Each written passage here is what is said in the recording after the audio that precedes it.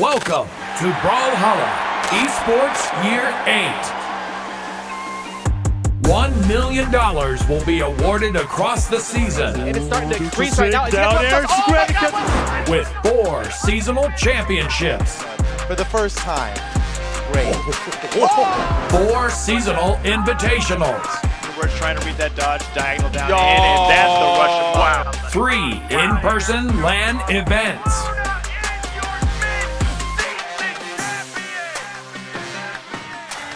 All roads lead to BCX 2023, the open entry Brawlhalla World Championship.